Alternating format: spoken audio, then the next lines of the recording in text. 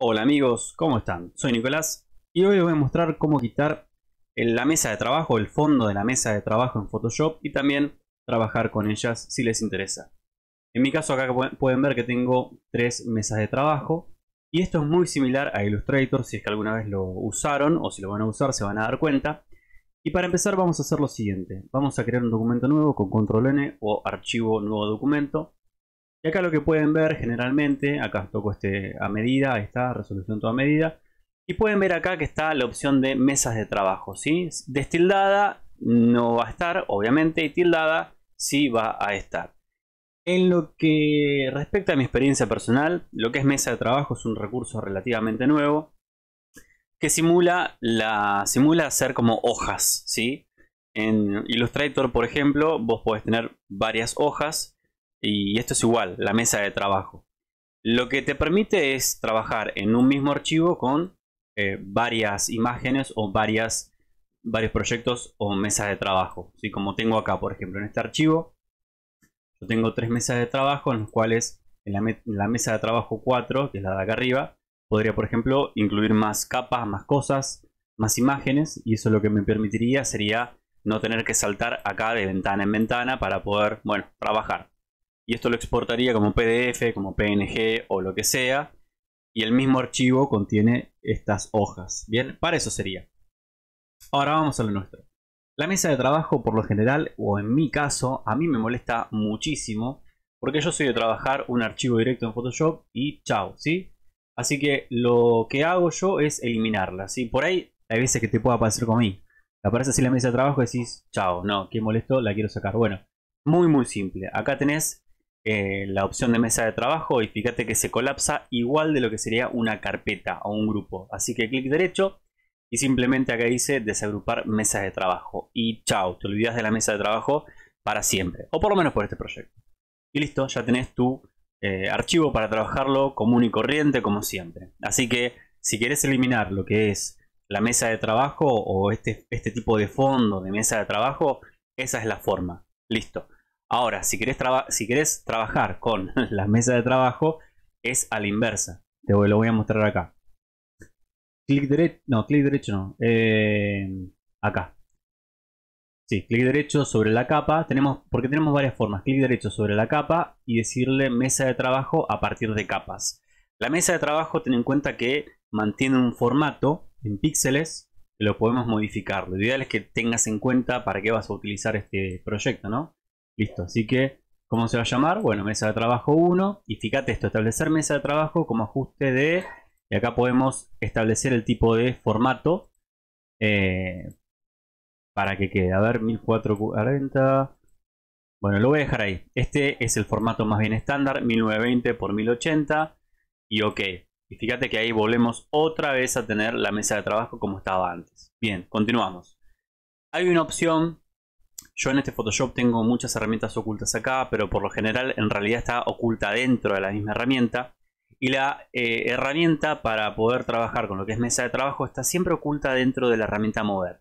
Así que con la tecla Shift y B corta, o B chica, depende, no sé en qué país estés mirando esto, activamos con la B corta la herramienta de mover, pero con Shift y B corta activamos la herramienta de mesa de trabajo. Y si no, como yo puedo encontrar acá, acá está, herramienta mesa de trabajo o B corta.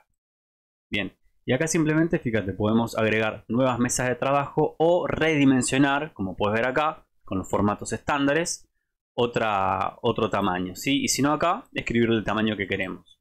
También ponerla en formato horizontal o vertical, agregar otras mesas de trabajo como lo puedo hacer desde acá. Eh, bueno, acá trazo una, una selección y me generaría una mesa de trabajo. Y si no me interesa, bueno, la podría eliminar tranquilamente. Ah, estoy, estoy tocando cualquier cosa. Ahí está. Ahí la elijo. Y ahí la borro.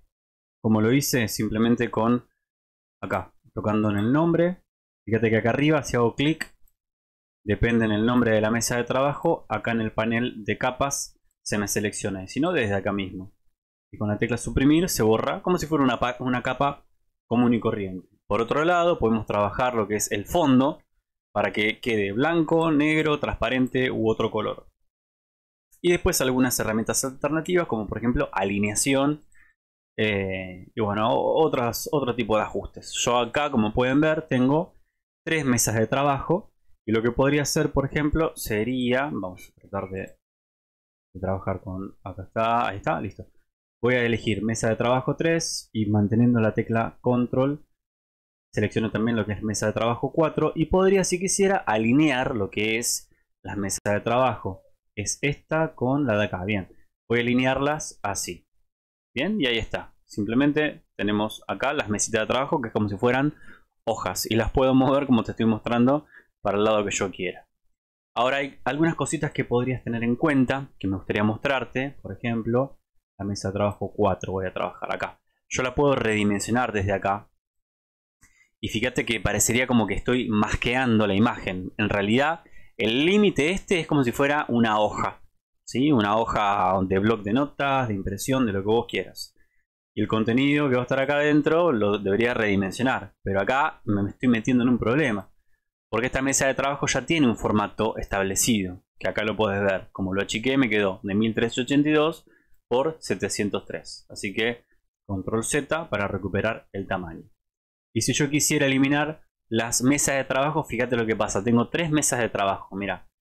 Agarro acá, clic derecho, desagrupar mesa de trabajo y se eliminó esta mesa de trabajo y me quedó convertida como una capa común y corriente, suelta y perdida por la vida. Acá voy a eliminar la de esta acá también, desagrupar mesa de trabajo y acá desagrupar mesa de trabajo y fíjate, Photoshop tiene que decir, bueno, pero pará, o sea, no pueden estar flotando las, las capas de las imágenes, en algún lado te las tengo que poner y convierte todo el espacio que, que se puede comprender eh, en la sumatoria, digamos, de estas tres imágenes en crear un super espacio de trabajo así inmenso que vamos a ver qué tamaño quedó. Debe ser seguro inmenso, 4000 por 2000 píxeles, no, tremendo. Así que bueno, acá lo que deberíamos hacer es eh, tomar nuestra herramienta de cortar, la tecla C o Shift C, ahí está, recortar, y deberíamos también redimensionar o bueno, desde acá, desde imagen, tamaño de imagen, tratar de acomodar un poco esto, un poco un lío, ¿sí? Bien, pero bueno, me gusta mostrarles todas las opciones de, la imagen o de, las posibilidades de la herramienta. Por último, por último, creo que por último, porque siempre se me ocurre alguna cosa nueva, que mostrarles dentro de la opción de capas vas a encontrar lo que es... Eh, ¿Dónde está? Que no lo encuentro ahora. Pero qué increíble.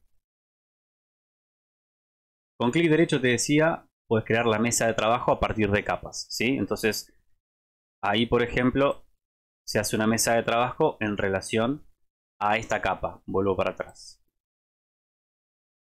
Y si toco estas tres imágenes y creo una mesa de trabajo a partir de esas tres capitas, la mesa de trabajo es esto enorme.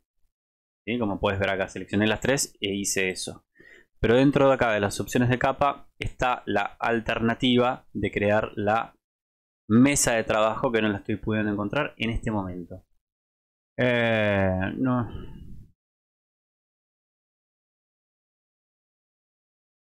Bueno, y no la voy a encontrar, no me importa. Son esas cosas de Photoshop que pasan siempre, ¿viste? Puede pasar, puede pasar, pero no, no, no, mira.